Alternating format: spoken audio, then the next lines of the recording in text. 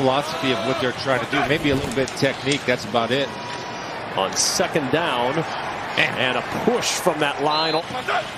From the 35, it's first down, and it's Wayne Gallman again, and Gallman twisting his way and lunging to the 39-yard line. Second down and six. Bengals rush four.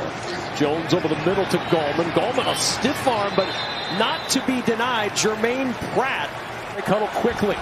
The turn, the give to Gallman zone for the touchdown on fourth down. The Giants grab the early lead.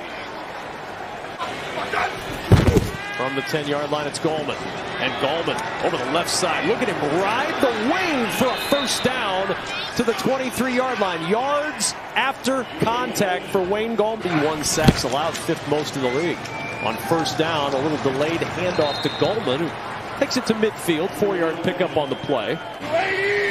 On first down from the five, running behind that offensive line is Wayne Gallman Jr. breaking tackles. Nice jump cut, just tripped up by Jessie Bates. Gallman runs through that. And on first down, Gallman again.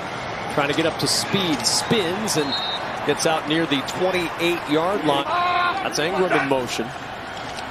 Jones looking. Has time. Throws. Awkward throw, but Gallman wins the catch, and that's a first down.